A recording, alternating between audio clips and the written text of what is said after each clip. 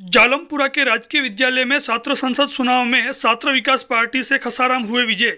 साइलाकुंड क्षेत्र के जालमपुरा स्थित राजकीय उच्च माध्यमिक विद्यालय जालमपुरा में छात्र संसद चुनाव। जालोर विधायक जोगेश्वर गर्ग, भाजपा जिला महामंत्री पुखराज राजपुरोहित, भाजपा नेता केवदाराम चौधरी सरपंच लीलाराम चौधरी प्रधानाचार्य प्रीतम सिंह सूरा, सुखदेव सिंह राजपुरोहित, भाजपा मंडल अध्यक्ष तुलसाराम चौधरी और प्रमुख ग्रामवासियों की उपस्थिति में शांतिपूर्ण मतदान संपन्न हुए, जिसमें छात्र विकास पार्टी से खसाराम को विजय घोषित किया गया।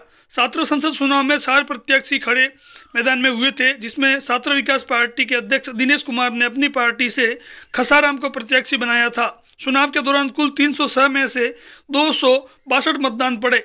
इसमें निर्दलीय अरविंद कुमार को पाँच मत विद्यालय विकास पार्टी से गीता कुमारी को तिरानवे छात्र सेवा दल के दशरथ कुमार को चौंतीस मत मिले। छात्र विकास पार्टी से खसाराम को सर्वाधिक एक मत मिले। ऐसे में खसाराम सत्तीस मतों से विजय हुए। विजेता खसाराम का विधायक सहित अतिथियों ने साफा व माला द्वारा स्वागत कर मुँह मिठा करवाया व शपथ दिलवाई। इस मौके विधायक जोगेश्वर गर्ग ने छात्रों को चुनाव प्रक्रिया व प्रत्याशी के बारे में विस्तार से जानकारी दी। विद्यालय के स्टाफ सुरेश प्रजापत ने बताया कि चुनाव प्रक्रिया का सभी नियमों के तहत वहन किया गया। इस दौरान विद्यालय स्टाफ सहित ग्रामीण मौजूद रहे।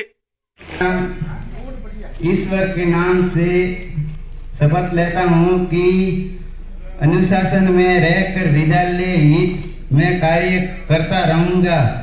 मैं विद्यालय द्वारा स्थापित सभी सभी नियमों का अध्यक्ष पालन करूँगा। विद्यालय के विकास एवं समुदाय की सहभागिता हेतु उत्तरोत्तर प्रयास करूँगा। ईश्वर मेरा साक्षी है।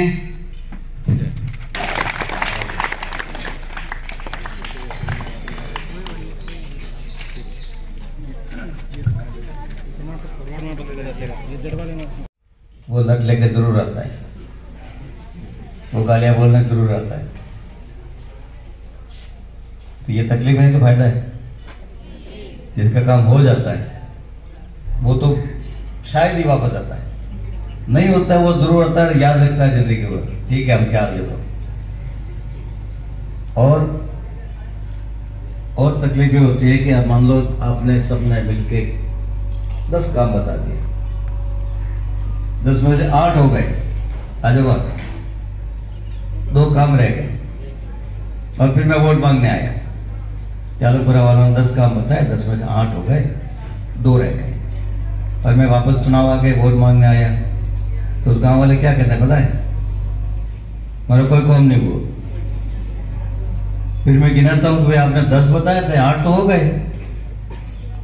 मैं भी अब समझदार हो गया तो लिस्ट लेके जाता हूँ।